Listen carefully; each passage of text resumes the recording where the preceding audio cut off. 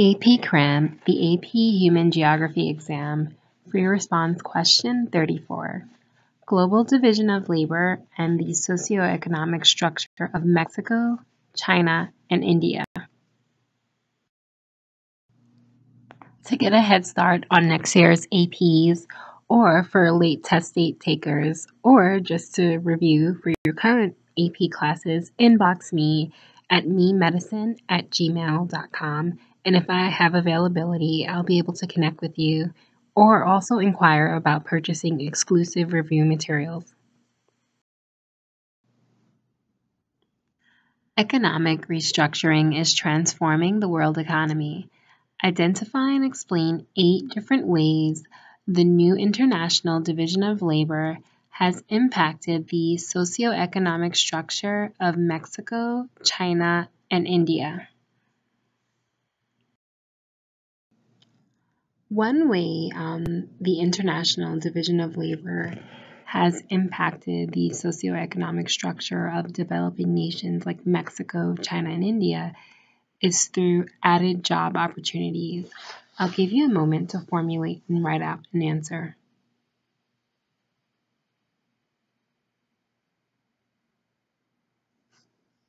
Press pause if you need to.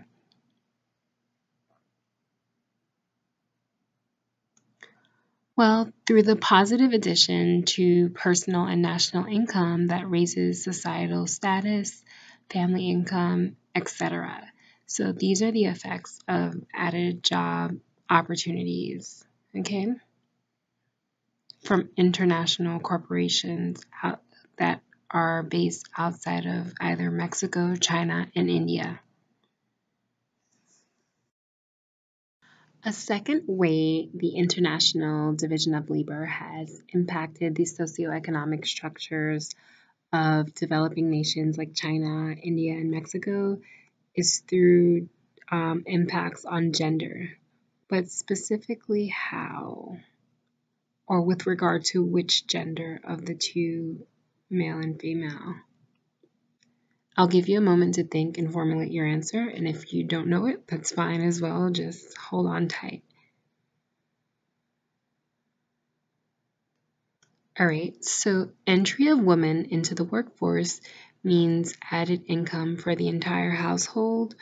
Um, this provides more support and improves the standard of living and lowers the population growth rate. Okay, now lowering the population growth rate can be seen as a positive or a negative thing depending on who you ask. All right. A third impact that the International Division of Labor, the new one that is, um, a third way that it has impacted the socioeconomic structure of developing nations like Mexico, China, and India is in terms of the wage gap in these regions. I'll give you a moment to think about this and write out an explanation.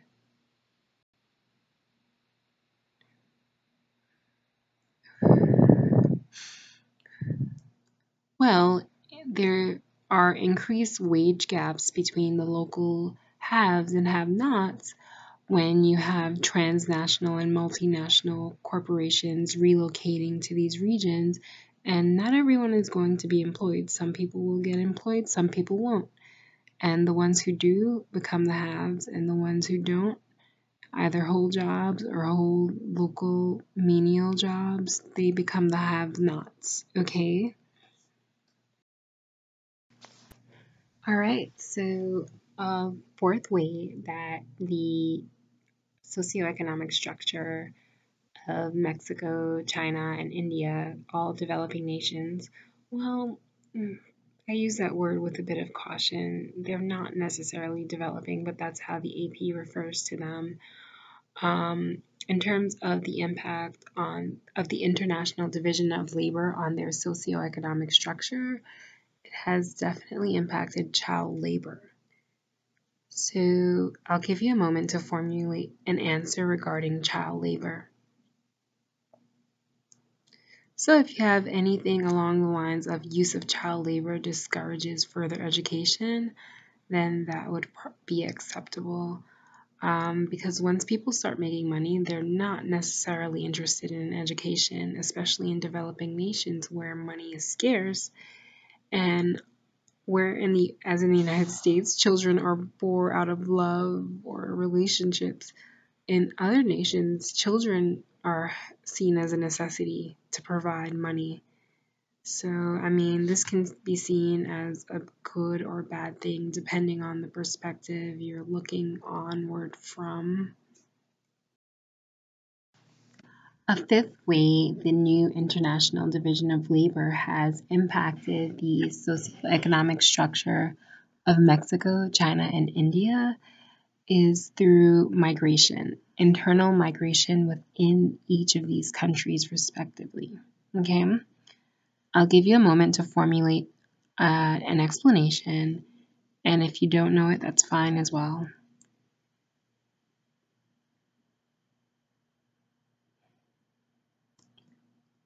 So, migration of nationals to specialized manufacturing areas within their countries or maybe to other overseas factories improves personal economic positions, but it also weakens family and traditional cultural ties. Um, this happens often in coastal China and the maquiladoras of Mexico. In case you're wondering what a maquiladora, I'm not sure if I'm pronouncing the last syllable correctly, is. It's a factory um, in Mexico ran by a foreign company and what it does is it exports the products manufactured there to the country of that company. Okay. So, yeah, money goes up, but the family bonds are weakened. A sixth impact the new International Division of Labor has had on developing countries, specifically their socioeconomic structures, is in terms of an environmental impact, I'll give you a moment to formulate an answer in your mind and write it out on paper.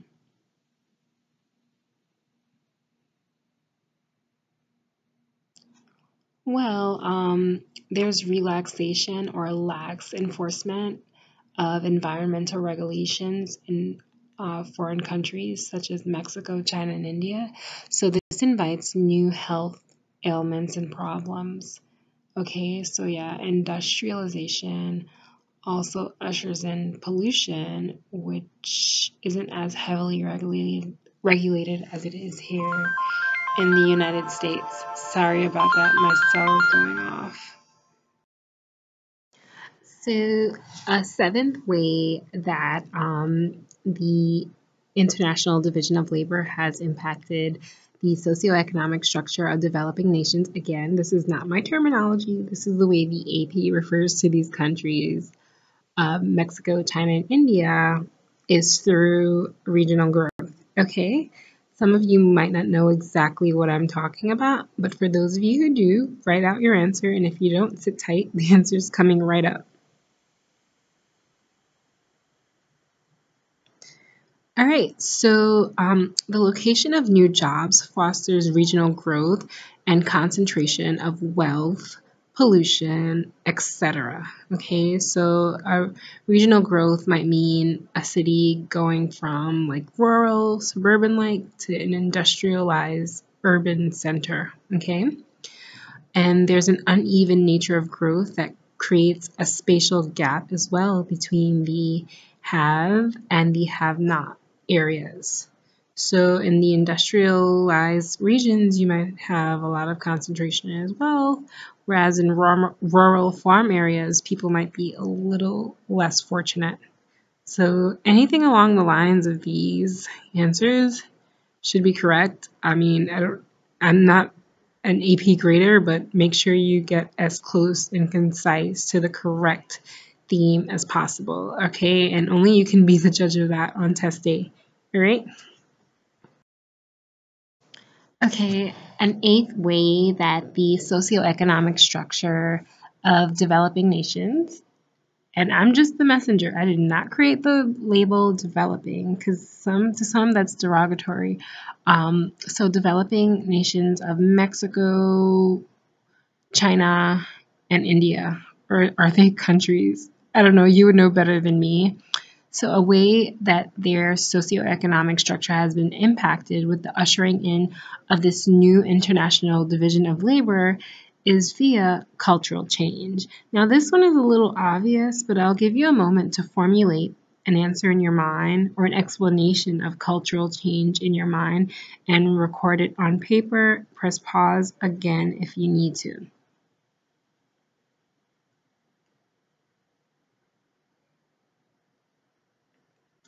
The westernization of production, that is, bringing um, westernized plants, manufacturing plants into these countries, the management, etc., the changes, the social and cultural relationships. For example, women in the workplace.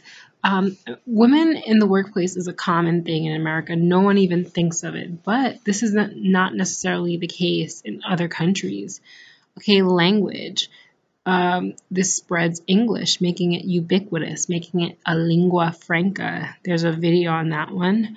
Um, and cultural disruption. So a lot of westernized ways become melded into the pre-existing cultures of these countries and these these countries have really strong cultures they're not just like wishy-washy okay they have an organized way of living in really strong traditions. So, bringing in factories, bringing in jobs and money will definitely shake things up a bit. Okay.